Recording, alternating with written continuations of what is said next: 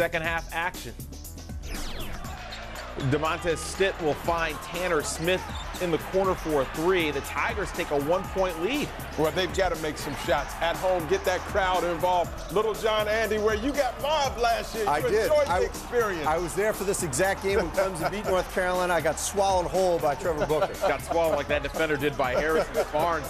UNC takes a two-point lead under two minutes to go. Kendall Marshall.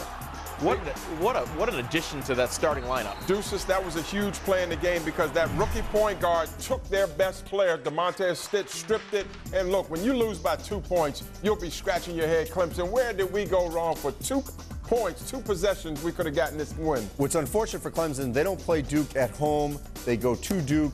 Uh, so they don't have as many chances here down the stretch to maybe get another big time win. Had, it, had they gotten this one, it certainly would have qualified.